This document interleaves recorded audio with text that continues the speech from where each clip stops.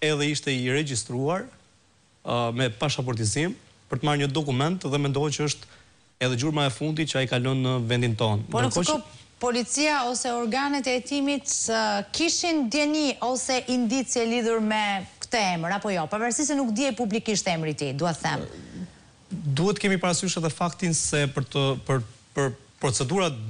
dokumentative dhe dokumentacioni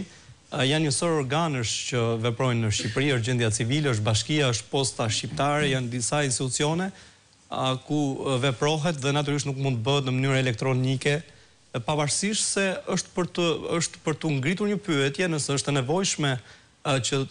këto organe që merren me lëshimin e dokumenteve përkatëse të jenë vigjilente dhe të porositen, pasi po flasim vetëm për pak orë përpara zbardhjes së ngjarjes, të paktën publikisht nga policia dhe natyrisht ai ka qenë i identifikuar, për të mos thënë dy ose tre ditë përpara se të shfaqej në një institucion të caktuar për të bërë një aplikim të përshpejtuar për një dokument që e ka marrë. Ndërkohë që pas këtij momenti ka dyshime që të jetë larguar nga territori shqiptar, Mua më pohojnë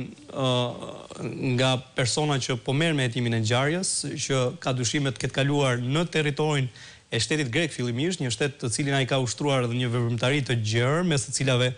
edhe pjesëmarrjen në një organizatë kriminale, ndërkohë që e njeh mirë si vend, por nuk përjashtohet mundësia që Greqia të jetë edhe një trampolinë për të për të humbur gjurmë dhe për të kaluar në shtete të tjera, kryesisht të Bashkimit Europian,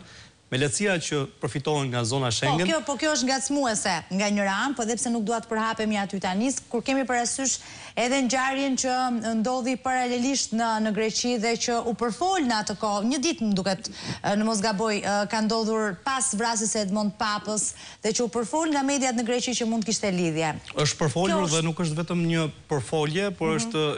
diçka e cila ka dyshime të forta, por edhe të arsyeshme, që mund të kenë lidhje me njëra tjetrën. Nuk është përjashtuar si version. A është vërtet strehuar Andrew Boden në Greqi? Personalisht, të paktën nuk e kam të konfirmuar zyrtarisht, por nga kontakte dhe informacione që kemi arritur të marrim edhe nga persona që po hetojnë në lidhje me këtë çështje, na bëhet me dije se ka dyshime të forta që Greqia të përdoret si trampolinë, pasi gjithë vëmendja natyrisht pas rastit në fjalë dhe zbardhjes së ngjarjes, emri i tij është nga më të kërkuarit në Shqipëri momentalisht, pasi duhet të presim një vendim gjykate për të caktuar masën e arrestit me burg, që do të jetë patjetër një masë e tillë, s'ka gjë për diskutim, është një kërkesë që sot